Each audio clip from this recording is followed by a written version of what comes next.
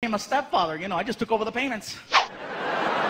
Best part for me is that my new son looks exactly like me. He's fluffy too. 10 years old, 162 pounds. Yeah, he's a little damn. And he's the cutest kid. You talk to him, his name is Frankie. He's like, Frankie, what do you like to do? I like microwave burritos and PlayStation. Me too.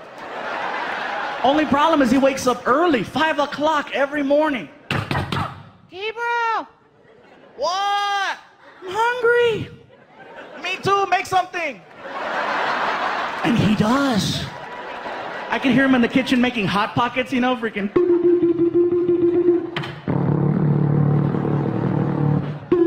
And he opens the door and doesn't close it, and the whole house freaking. Oh, hot pocket, delicious. Oh.